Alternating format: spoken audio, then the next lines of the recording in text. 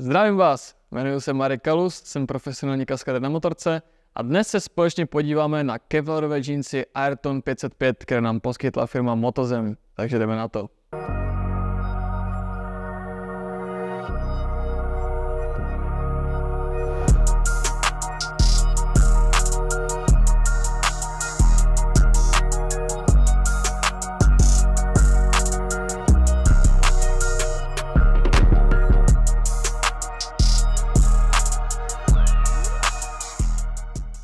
Kevlarové rifle Ayrton 505 zde máme v modré barvě, což je super odlišení od ostatních výrobců, protože v dnešní době se většina kevlarových riflí prodala v černé barvě a co si budem, vypadá to jako normální rifle na běžné používání, ale můžete v ní jezdit na motorce, protože splňují veškerou ochranu a bezpečnost.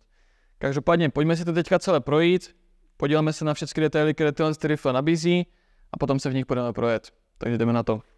Než se pustíme do nějakých větších detailů, projdeme si společně klasicky kapsy, protože kapes není nikdy dost. A máme zde čtyři kapsy, dvě vepředu, dvě vzadu, tak stejně jak na klasických riflích. Ale teď vám ukážu to, co klasické rifle nemají, a to je bezpečnost. Tyto rifle mají kevlarovou počívku, což v praxi znamená, pokud byste v těchto riflích spadli, je těžší je prodřít o asfalt. Oproti klasickým riflím, v kterých spadnete jenom jednou a jste celý podření. Každopádně, jako další ochranu zde máme chrániče kolen, které si můžete výškově přizpůsobit podle sebe, čili dají se posouvat. A taktéž tady máme chrániče boku. Chrániče jsou v takové šikovné kapse, čili je můžete kdykoliv vyndat, kdyby se vám náhodou třeba stalo to, že někam jedete v klasických riflích, ty se vám zašpiní a musíte jít mezi lidi v riflích na motorku, tak jako se stalo mi, tak vyndáte chrániče a můžete jít a nikdo nepozná, že máte rifle na motorku. Tak, jako další zde máme schovaný zips, který když otáhneme, tak se nám otevře ventilace, což je určitě super bonus při riflích, protože na motorce dokáže v nich být celkem mají horko, takže takhle si můžete otevřít ventilaci a proudí vám vzduch.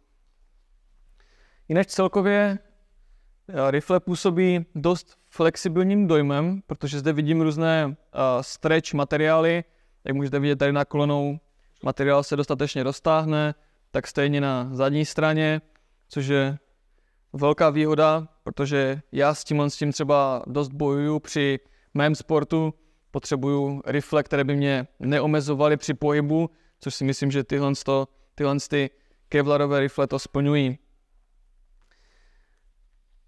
Pokud jezdíte v větších botech a ne v teniskách, můžete si také rozepnout spodní část riflí, nasunout je přes botu a zapnout. Takže určitě to usnadní manipulaci. Tak, jako další, jako další detail těchto riflí vidím, že zde mají krátký zips, což znamená, pokud máte bundu se zipsem, můžete si ji k těmto riflům připnout.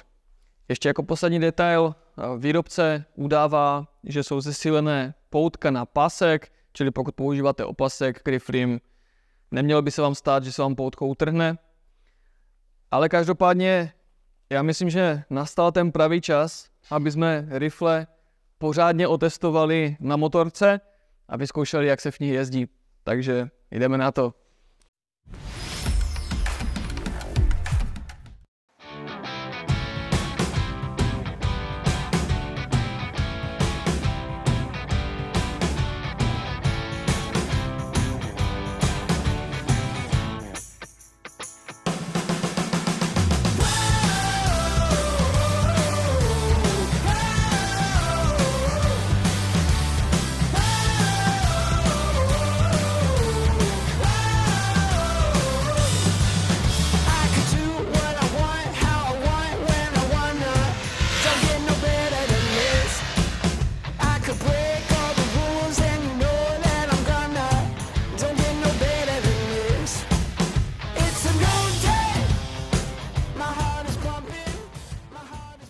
Takže kevlarové rifle máme odzkoušené.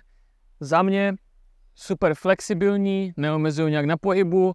A pro příště, kdybych si je měl zvolit, bych možná volil o velikost menší, jelikož jsem bral svoji standardní velikost, ale zdají se mi lehce volnější, ale nic, co by nevyřešil zip, které tyto kevlarové rifle mají, což je velký bonus a můžete si připnout je k bundě. Takže za mě fajn a vidíme se při další recenzi.